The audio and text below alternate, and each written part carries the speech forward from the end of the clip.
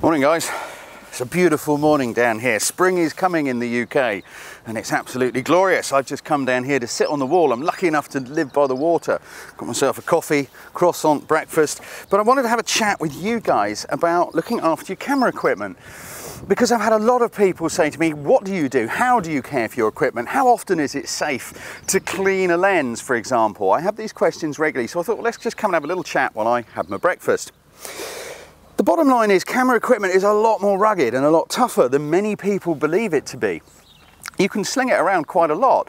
Um, I'm not suggesting you do that, by the way. Don't go and throw your camera across a car park and say, Browne, you said I could throw it around. It's not that rugged. But for example, one of my D300s, I dropped it one day. I had it at eye level and then something happened. I fumbled and dropped it straight onto some tarmac. Um, you know, the camera was fine.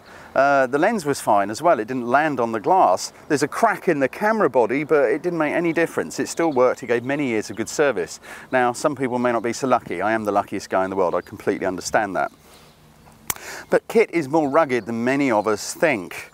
Um, for example, the question, how often is it safe to clean the lens? Well, clean it as often as you need to. You can clean it a lot. Think about it. Glass is pretty rugged, tough stuff, really, isn't it? Look, let me have a dig around in here. I want to show you something. I have got somewhere in my bag. Here we go. I'm good at losing stuff, aren't I? Look, right here, I've got a wine glass, okay? It's just ordinary wine glass glass.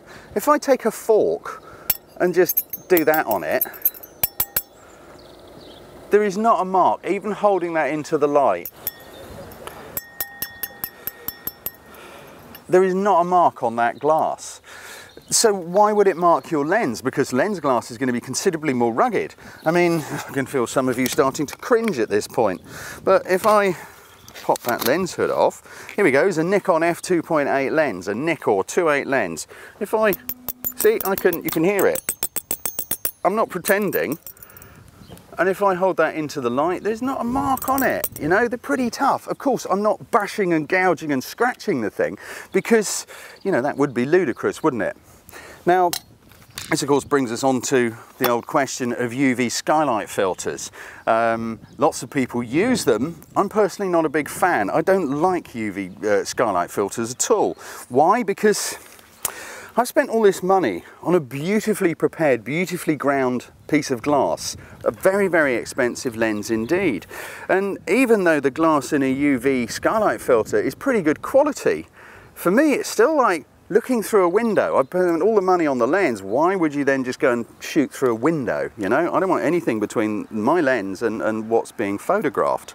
My preferred choice is something along the lines of uh, a lens hood. If you've got a good quality deep lens hood going on on the front there, you're doing a lot of protection. Nothing can touch that. For example, my fingers can't touch it by accident. If I chuck it in the bag without the, the, the cap on, you know, it's not going to touch the edge of the bag. So if there's any greasy marks or anything, you're not going to get them on your glass. I much prefer these. I had a, a, camera fall off a tripod from quite high up like this one day and it landed glass first into a car park. The lens hood took the brunt of it. There wasn't a mark on the glass. It smashed the lens hood, but um, the glass was fine. Unfortunately, the weight of the camera body behind it also trashed the autofocus mechanism inside the lens, but the glass was absolutely dandy. I recommend you use these things all the time, not only for protection, but because you are shading your lens. You see, if I hold that there, you can see the sun's over there, but my lens hood is stopping light hitting onto the glass. If I turn it that way, we've got light going straight up the lens. Depends if you're worried about lens flare or not. So what do you use to clean the lens? What do I use to clean the lens is, is usually the question. Some of you may be horrified about this, but I have two absolute favourites. One is bog standard, ordinary, old-fashioned kitchen roll. Not toilet roll, kitchen roll, you know?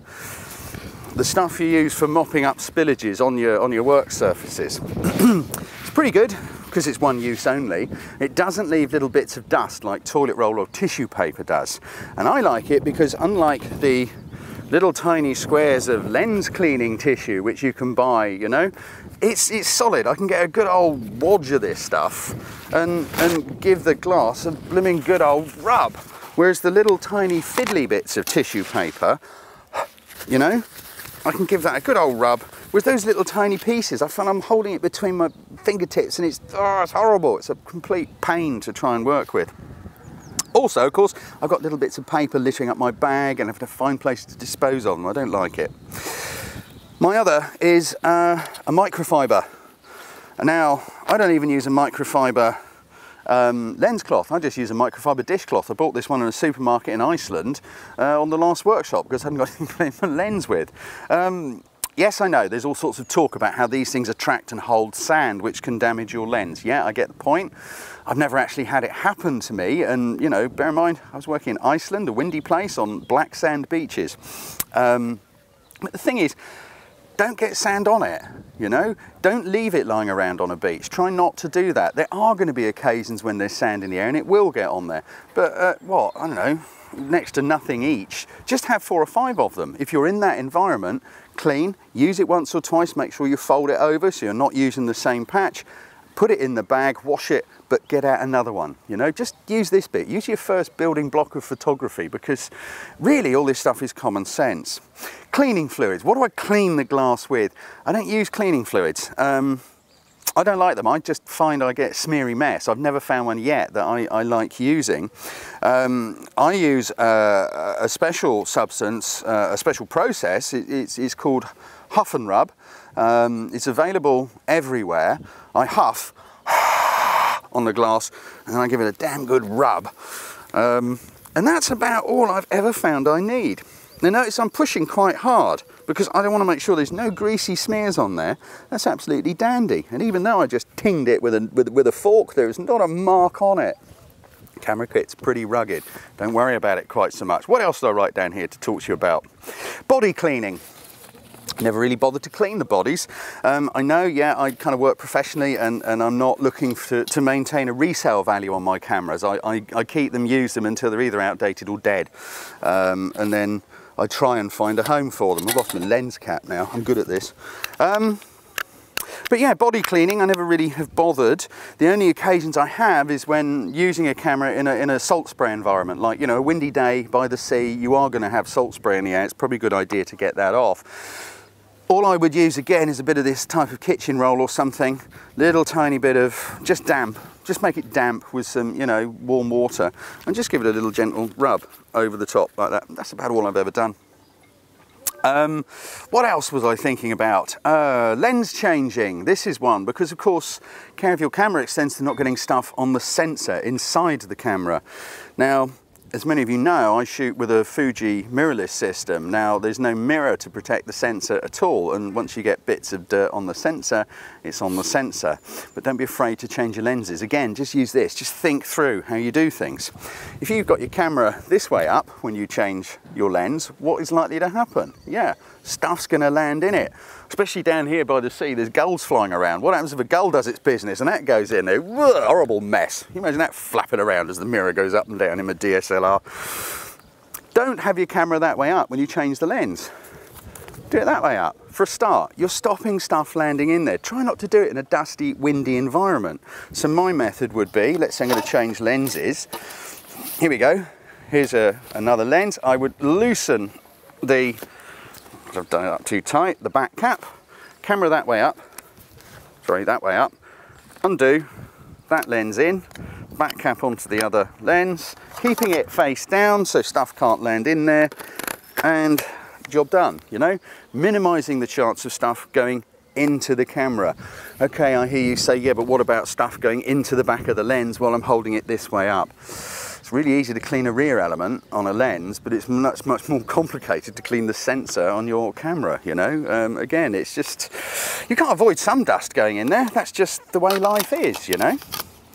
That's probably about all I had to say with it. Really, my point was I don't want you guys to get too hung up worrying that your camera is going to get damaged. Yeah, I understand there is a resale um, issue for some of you where you, you, you want to sort of, you're not sure what you've got, you want to make sure it's in good condition if you want to part exchange it or resell it. Um, but camera equipment is considerably more rugged than many of you think. There is one more thing I want to talk about, condensation. This comes back to me from Iceland. Let's think, you're out in the cold, your camera body is cold. You take it into a warm environment, particularly if you just boiled the kettle, what's likely to happen? Condensation.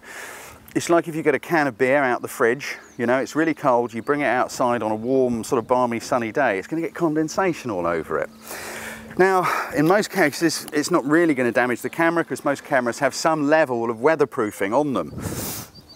But you don't want to go taking your lens off in that environment. I did it again in Iceland, shot something outside, really, really cold, jumped in the van, we drove up the road. Oh, look, there's something, I needed a different lens. Didn't think, because I was talking to someone, not paying attention, I'm good at that. Pop the lens off. Now the Fuji I had with me, of course, that's mirrorless, and I instantly got some condensation onto the sensor. I didn't realise until I put the camera up to my eye and thought, why does everything look all milky white? I was lucky, I managed to dry it out and we had a sensor cleaning kit, we gave it a clean, all good. But just think about these things, you know. Um, make sure your camera warms up a bit before you open it if you're in a humid environment and the body's cold other than that, that's probably, I think, all there is to say about it. That's, that's really all I do, and I've gone as in depth as I possibly can in discussing how I look after my cameras. Um, that's probably all there is to it. That's a blooming big woodpecker, wouldn't it? I don't know if you heard that. But anyway, enjoy the weather, guys. Enjoy the summer if you're in the UK. Enjoy life if you're anywhere else. Don't panic too much about your camera equipment. It's pretty sturdy. Just enjoy it. Go out, shoot some pictures. Cross on time. Subscribe to our YouTube channel to be notified each time we upload one of our cool photography videos, or for more great photo tips, workshops and training, come and see us at our website, photographycourses.biz.